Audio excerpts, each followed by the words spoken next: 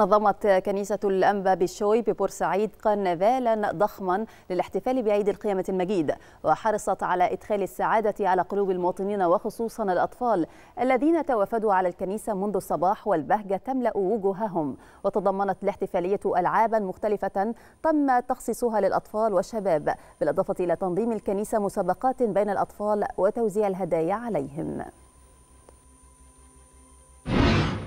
النهارده بنحتفل بعيد القيامة والنهارده ليلة العيد عندنا احتفالية وبنستقبل المهنيين وبنستقبل أولادنا وكل حاجة عشان دي ليلة عيد.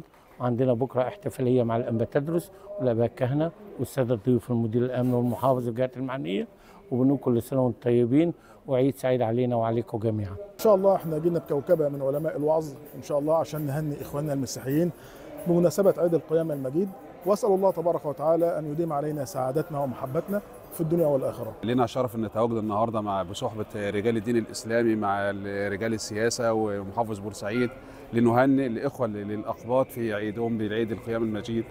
آه وده يمثل رسالة من رسالة الأزهر الشريف اللي بتدعو إلى السلم والاتحاد والتألف والانتماء. اولا بنقول للشعب القبطي كله المسيحيين كلهم كل سنة وأنتم طيبين وده مش مش غريب إحنا عادة بنبقى موجودين هنا على طول يمكن حضراتكم لو جيتوا هتشوفونا كتير هنا مع جناب القمص بولا ومع غيره. طبعا إحنا بنقدم النهارده كل الشكر والتحية والتقدير لخالد عبد الفتاح السيسي ان هو اصدر توجيهاته ان أي منطقة جديدة تتعمل يتبني فيها جامع ويتبني فيها كنيسه. النهارده إحنا بننفذ التعليمات والتوجيهات بتاعت سيادته دي.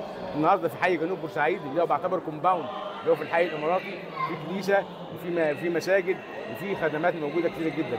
والنهارده بنقدم كل التهنئه لإخواتنا ولنفسنا لعيد القيامه المجيد. إحنا النهارده مبسوطين جدا بزيارة المحافظ عندنا. هو نورنا وإحنا خدنا بركة كبيرة بزيارتكم كلكم. وإحنا مبسوطين جدا ونتمنى الزيارات دي تتكرر.